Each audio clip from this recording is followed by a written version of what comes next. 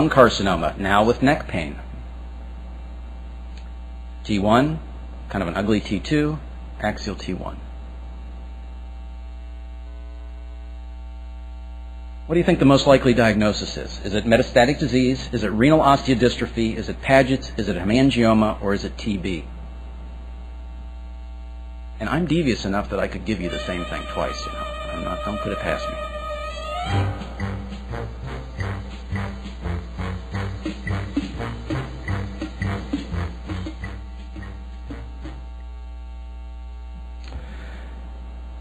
That's what I wanted you to say. It's the incorrect answer, but that's. Um, I think that is the logical conclusion from looking at these images. Let's see if I can go forward. Uh, so here we have the body. The key here is certainly you have compression fracture, low signal, and you kind of jump on that. Oh, I've got lesions.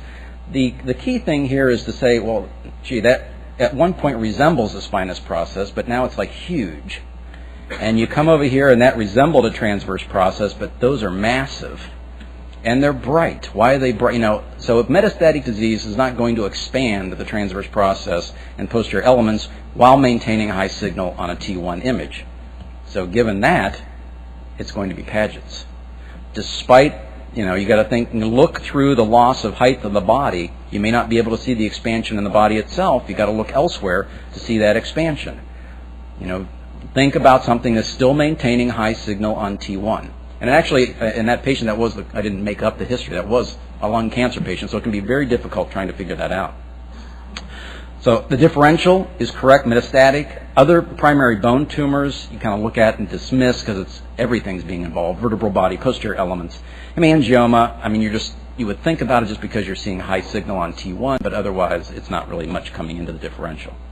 Paget's, we don't care. Okay. Uh, we're bored now. T1 on something that's bright on a T1. The take home message here is how many things involve the body, can involve both anterior and posterior elements, and are still maintaining fairly good, you know, high signal on T1. Not many.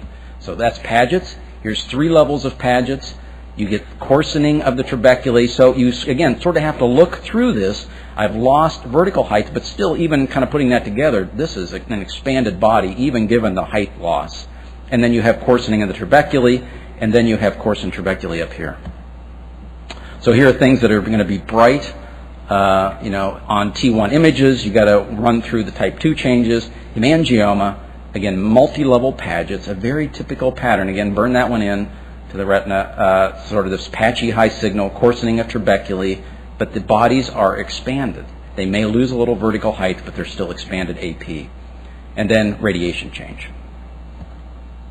Here's another hemangioma. You can have both intra, osseous and extra-osseous components. I think this is a very difficult diagnosis to make at this level. This looks like metastatic disease, but you put it together with a nice hemangioma adjacent to it, and then on the axial, you get a sense that you do have coarsening of the trabeculae within this mass.